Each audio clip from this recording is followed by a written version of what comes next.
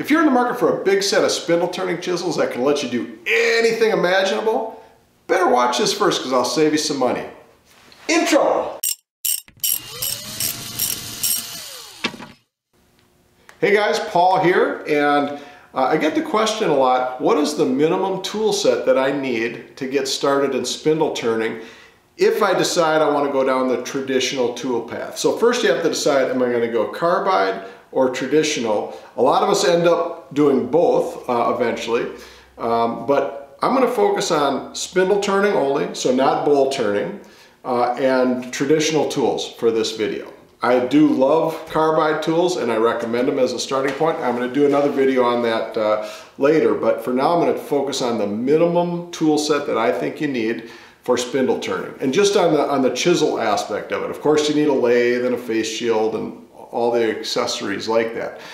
But I'm going to focus on the, uh, the really the four minimum tools that I think you need and one more for extra credit. So I'm going to cover five tools. And with those, you can do just about anything uh, within spindle turning. Uh, so first, the first one up is the, uh, the roughing gouge. So you need one of these because that's the first step. I, have chucked up a two by two uh, by probably foot long or so chunk of ash here. And the first thing I'm going to do with this is I'm going to take this roughing gouge and I'm going to just make it round. So the roughing gouge is going to be a kind of a heavier gauge uh, steel. This is about an inch wide, pretty a uh, pretty robust piece of steel on there, ground at a pretty flat angle, and it's just a kind of a, a workhorse just to get it round. You're not worried about leaving a perfect surface finish on here. That's going to be for other tools after the fact. So let me just uh, show you quickly what you can do uh, with, the, with the roughing gouge and kind of how that comes into play. Now when you're just getting started with the roughing gouge, the work is pretty thumpy, and that is just because you're knocking off corners. So you're turning way more air than wood at first and every time that wood comes around it's going to thump on the uh, roughing gouge. Now the, I mentioned that it had a blunt nose angle and that is really because you want to knock off rather than shear off those corners. If you're shearing at this point uh, you're going to be splintering the wood and it gets dangerous. You could have one of those splinters come off and it's spinning pretty fast and that thing could lodge in your hand. So uh, a blunt nose angle is a, an appropriate uh, way to grind that tool. Now all you're doing at this point is just trying to make it round. So what you want to do is check it periodically and to do that you're going to just set the gouge on top of the wood and listen for thumps and if it's still thumping you have more work to do. All right, the next one up is a spindle gouge. Now I'm gonna just cheat a little bit and tell you that I'm gonna cover two spindle gouges. I like to have one larger one and one smaller one. First one is a, a half inch, half inch spindle gouge. Gets, gives you the ability to shape uh, larger concave and convex uh, things. You can turn beads with this. You can do just gentle sweeping curves and so forth. So this is a great tool for a lot of the shaping that you're going to do in spindle turning. Let me just give you a quick demonstration of where that fits in. I probably spend more time in spindle turning with a half inch spindle gouge in my hand than any other tool. It just does most of what I need to do. It's kind of the workhorse in my spindle turning.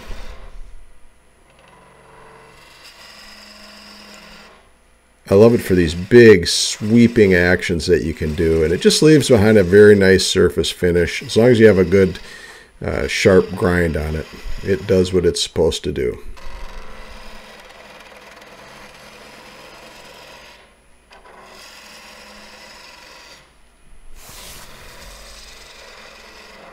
right, next up is the smaller uh, detail uh, spindle gouge. So this is a 3 8 inch bar and I measure it when I say half inch and I say 3 8 inch, I'm measuring the bar uh, of the uh, of the tool, the, just the, the large diameter of the uh, overall tool itself. Rather than the flute. It's confusing in, uh, in turning when some manufacturers measure the flute size, some measure the bar size. That may be more applicable in bowl turning than in spindle, but I'm just measuring the, the size of the bar. So this is a 3 8 inch. Doesn't sound like much difference from a half inch, but it's a huge difference. So it's gonna have the same functionality, but just on a smaller detail. Um, I don't use these two interchangeably. You could do, you can do some pretty fine detail work with the, with the half inch, but when you really want to get in there and make fine details, I love having this 3 8 inch gouge. So let me just give you a quick demonstration of that. All right, same kind of idea as with the half inch spindle gouge, but now we're just working in a tighter space. I normally slow down the RPM a little bit when I'm working with the smaller tool. It gives me a little bit more control, especially when getting into these uh, smaller nooks and crannies on the piece. But just defining the outline of the beads in this case and then just rolling them over uh, and it can just get a very nice crisp detail and if you want to get down in there a little bit deeper you're able to do that without as much interference because it's such a narrow tool. All right, and then finally, uh, a parting tool. Now, I'll admit that I have probably four or five different parting tools, different styles, different uh, thicknesses, and I do use uh, some of the other ones. But if I only had one, I would choose this really thin one. The reason that I really like this and use this one the most is that when you're parting off a piece at the, at the end of the project, this is gonna do it the quickest. It's gonna remove uh, the least amount of material and just be the most efficient. Now, if you wanted to round, if you wanted to turn a tenon or something like that, just a large flat uh, space, you could use this and do it in smaller increments. I'd rather go grab a wider one for that type of work. So if I, you know, if, you might want to get two of these, one narrow, one wide, but if you only get one, I really like this narrow one. So let me just give you a quick demonstration. Not much to show here, but uh, just a, it's a simple, purposeful tool. Now look how easily this tool plunges into that hardwood, just all the way to the core, nothing to it. And here I'm just creating a little tenon uh, which you can do easily even with such a thin tool. And then finally, I'd say for extra credit, if you want to add a fifth tool to your arsenal, uh, this is a skew and a skew chisel. And uh, there are different uh, sizes and shapes of these. Um, I have a couple that I like. This is one, this is about an inch wide uh, and it is ground. The, the, tip is ground at a skewed angle.